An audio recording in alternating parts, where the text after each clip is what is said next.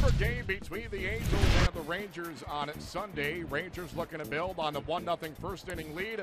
Rougned Odor into right off J.C. Ramirez. Carlos Gomez, the green light around third. Kole Calhoun says, access denied. What a throw from Calhoun right on the money. Gomez never had a chance. And how often do we see it? A great play in the field leads to great exploits at the plate. Calhoun off Martin Perez. We're tied at one. Top five. It is Perez, a bases loaded, two out jam. Jefry Marte, tie breaking two run single. It's a 3 1 game. Now 4 2, bottom seven. Andrelton Simmons to his left to Rob Shin-Soo Choo. Top nine, it's Marte who tees off on Sam Dyson. Poor guy just needs a mulligan for the 2017 season. Big day for Marte.